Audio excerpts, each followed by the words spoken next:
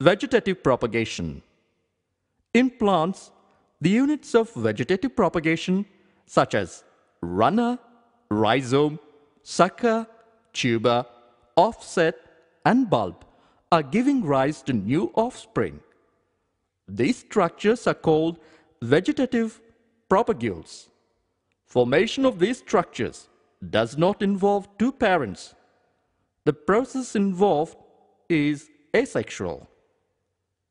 Are you aware how plants like potato, sugarcane, banana, ginger, and dahlia are cultivated? Determine the site of origin of the new plantlets in the plant shown. You will notice that they invariably arise from the nodes present in the modified stems of these plants. Onion is stem modification. Adventitious roots are grown from discoid in the soil. Adventitious buds arise from the notches present at margins of leaves of Bryophyllum. This ability is fully exploited by gardeners and farmers for commercial propagation of such plants. Terror of Bengal aquatic plant water, hyacinth, drains oxygen from the water, which leads to death of fishes.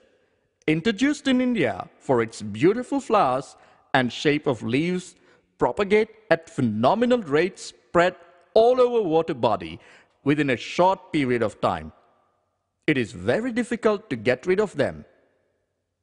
Now let us see few examples of vegetative propagules in angiosperms. A. Eyes of potato. B. Rhizome of ginger. C. Bulbils of agave. D. Leaf buds of bryophyllum. E.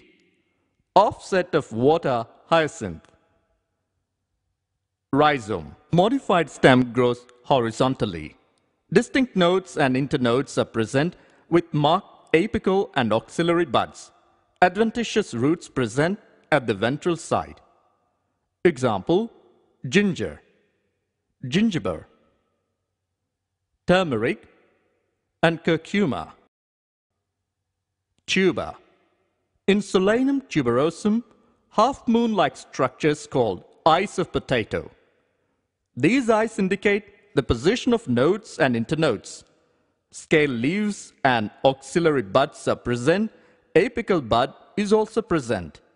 Tubers have no roots. Example, Solanum tuberosum, potato. Helianthus tuberosus. Onion, underground stem modification. Adventitious roots grow towards the soil. Fleshy, scaly leaves, which are eaten, grow above soil, aerial. Auxiliary buds produce new plant. Apical bud shows inflorescence. Tunicate bulbs are seen in Allium cepa, onion.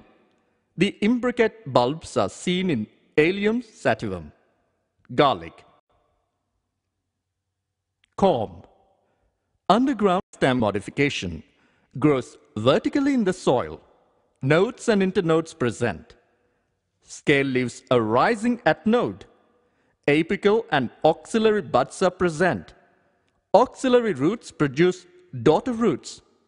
Corm shows contractile roots, which are helpful to put the corm in distinct depth. Example, Amorphophallus, Colocasia, etc.